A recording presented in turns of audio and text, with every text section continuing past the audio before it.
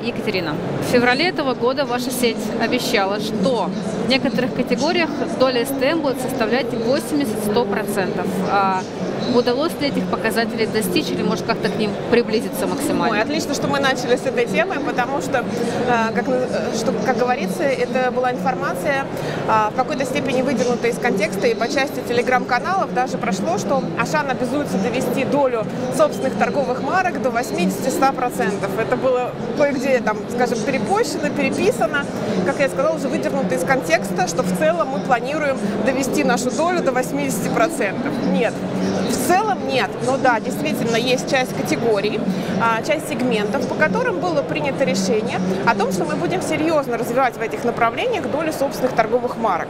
С чем это связано? Ну, прежде всего мы посмотрели, оценили, как наши э, клиенты, наши покупатели выбирают э, товары, как они относятся к собственным торговым маркам, в каких категориях есть барьеры, в каких нет. Происходит э, ну, замещение на собственные торговые марки наиболее безболезненно. безболезненно. И Соответственно, приняли решение, что действительно, да, по части не брендозависимых, не промозависимых категорий мы видим себе в ближайшем будущем, в перспективе до 2026 года, что доля по некоторым сегментам, по некоторым категориям будет ну, приближена к 80-100%. Например? Например. Ну, мы видим, что наши покупатели не видят особой ценности в брендах, там, в одноразовой посуде, в мешках для мусора, ватных дисках или ватных там э, палочках. Это вот просто на скидку, если мы говорим не про продукты питания. Если про продукты питания, то, безусловно, там, ну, не самыми брендозависимыми являются орехи и сухофрукты, а, какие-то виды консервации. Именно по этим направлениям мы сейчас проводим серьезную работу для того, чтобы а, довести а, нашу долю, например, в кулинарии, в каких-то других направлениях, которые связаны, в которых наши покупатели легко переключаются на собственные торговые марки и нет барьеров, долю до 80%. Но еще раз говорю, что это такой процесс, программа, которая у нас э, расписана на ближайший год-два, и мы в этом направлении развиваемся, но это никоим образом не соответствует ну, тому, не той фразе, что нет, это не соответствует той фразе, которую я не единожды прочитала на просторах, как говорится, интернета, что Ашан обязуется довести долю собственных торговых марок до там, 80%. Мы понимаем, что мы, ну, прежде всего, гипермаркеты а, с большим, широким, интересным ассортиментом для наших клиентов, и задача стоит только по выборочным категориям. А сколько сейчас э, в целом э, собственных марок у сетей и как это количество меняется? Ну, собственных марок у нас... SKU, например, если А, SKU? Ну, если мы говорим про SKU, то в зависимости от сезона у нас есть сезонный ассортимент. В среднем у нас от 7 э, до 8,5 тысяч SKU. То есть есть... Э, и сейчас мы уже приходим к тому, ну, что наш э, ассортимент, он является таким очень мобильным. То есть у нас есть э, SKU, коренные SKU, которые ну, всегда присутствуют в ассортименте. Но мы переходим еще на планирование ну, больше делаем сезонных коллекций, больше делаем сезонных предложений для клиентов уже и в собственных торговых марках. Поэтому я говорю, что у нас э, развитие СТМ не останавливается и э, от, в зависимости от сезона цифра эта, она вот может варьироваться. У вас же зонтики в разных ценовых категориях, насколько я помню. Да. Вот как сейчас покупатель себя ведет относительно а, выбора самого бюджетного продукта? Насколько для вас сейчас в важна цена? Важна всегда. А, как бы будь то э, низкий ценовой сегмент, средний ценовой сегмент и высокий ценовой сегмент, а, не надо как бы э, как это, принижать значимость цены. Цена всегда важна, но а, мы видим, что, ну не мы видим, а рынок нам говорит, и там через Нильсона, через GFK и какие-то другие инструменты, что потребительская активность людей возрастает, что у них есть определенный оптимизм в части продуктов питания, во всяком случае, да, и э, люди уже относятся более требовательно к качеству продуктов, э, качеству жизни через эти продукты, через питание. Поэтому, несмотря на то, что первая цена по-прежнему важна, как важный такой индикатор price perception сети, мы видим, как серьезно последний год развиваются средние и высокие ценовые сегменты в собственных торговых марках. Какое-то процентное соотношение цифры какие-то можете назвать или это сложно пока? Вот? цифры вы имеете в виду? Что насколько, с, с, насколько стала вот расти именно средняя и высокая ценовая категория ВСТМ?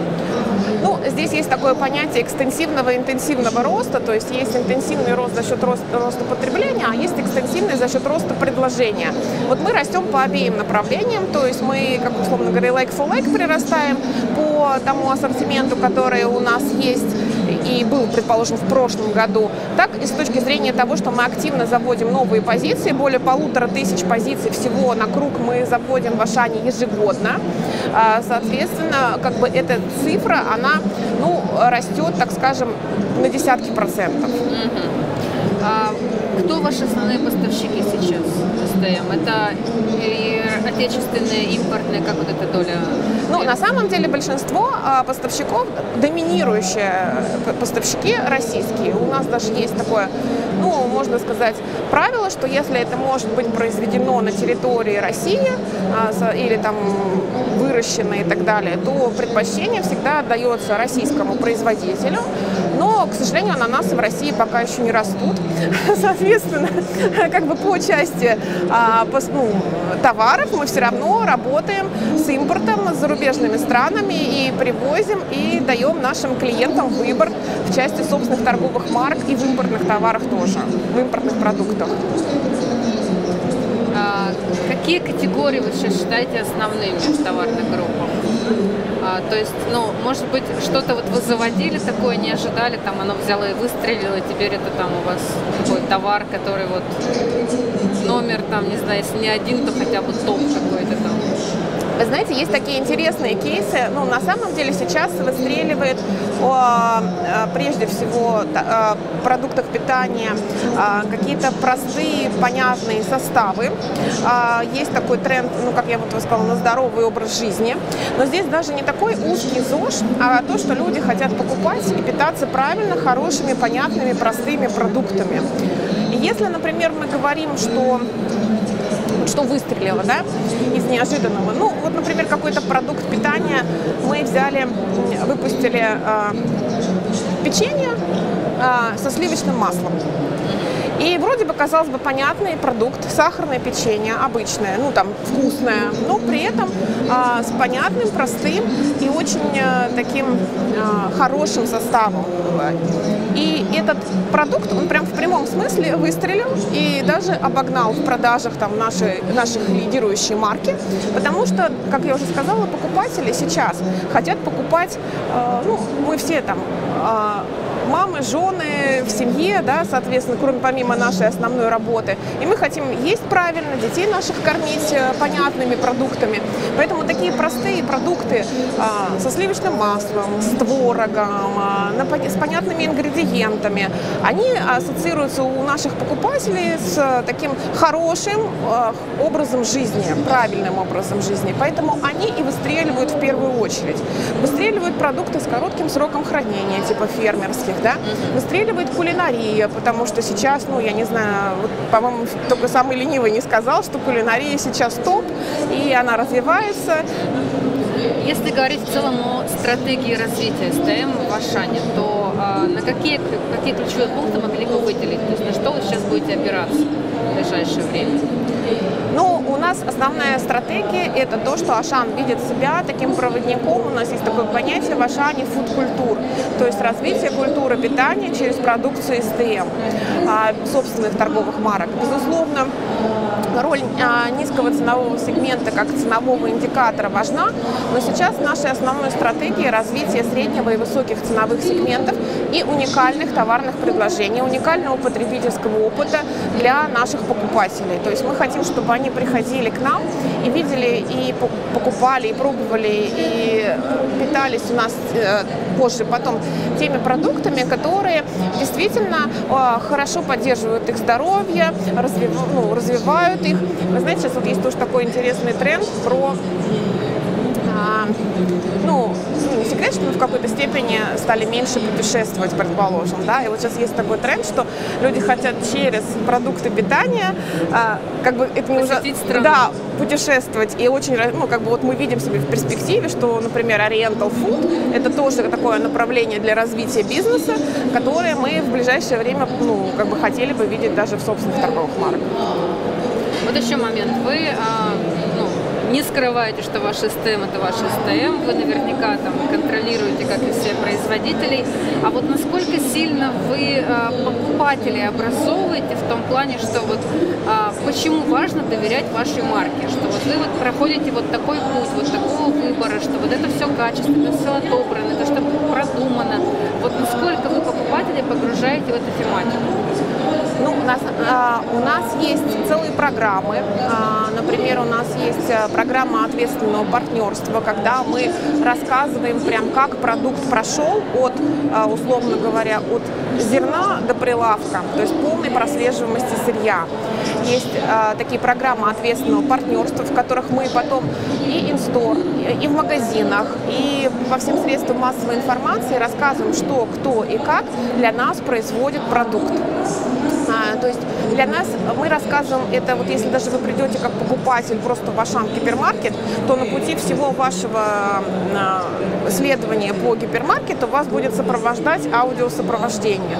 И даже в этом аудиосопровождении мы рассказываем, а, кто для нас делает продукты, как мы относимся к этим товарам, почему для нас важно качество. И это сопровождает практически весь, есть такое, ну, customer journey, да, такое понятие, там, путешествие там, клиента, да, и digital серьезная поддержка идет тому, как и у кого и с кем мы производим наши продукты. В основном, безусловно, мы э, очень внимательно относимся к выбору э, производителей. Все производители в обязательном порядке проходят аудит производства, и это очень серьезное мероприятие, э, когда приезжает даже не аудитор из Ашан, а аудитор из компании для того, ну, по понятным причинам. И мы особое внимание уделяем качеству продукции и немаловажно качеству производства, потому что для нас важно не только какой продукт, но и как он был произведен. И все это мы пытаемся донести до наших покупателей.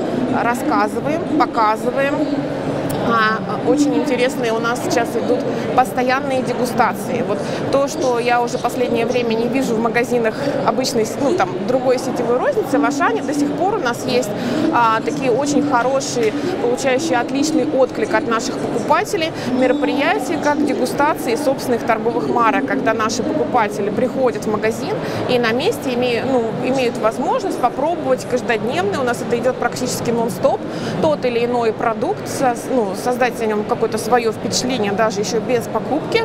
А, мы собираем все отзывы и потом их учитываем, если есть какая-то обратная связь объективная, при доработке продукта, если это необходимо. Но, то есть мы на всем а, пути нашего покупателя пытаемся ему рассказать и, ну, рассказать и донести, а, каким образом мы сами относимся к этому продукту, потому что мы сами абсолютно а, вовлечены в этот процесс полно, полноценно, то есть мы абсолютные фанатики в этом вопросе, в вопросе качества, в вопросе упаковки, в вопросе, кто и что нам будет производить. Поэтому для нас это вот объективно очень важно. Вы уже упомянули о трендах, которые сейчас нужно учитывать при разработке STM. Вот все-таки каковы будут ваши фокусы вашей команды в ближайшее время? Что будете делать? фокусы команды. Ну, как я уже сказала, у нас фокусы в среднем и высоком ценовом сегменте, товарах, которые несут уникальные потребительские преимущества, либо уникальный потребительский опыт, уникальные вкусы, уникальные упаковки а, товары э, с простым понятным составом, здоровый образ жизни, а, товары с ответственным партнерством. Это тоже, как я уже упомянула, очень важная часть нашего развития собственных торговых марок. Все эти направления мы развиваем.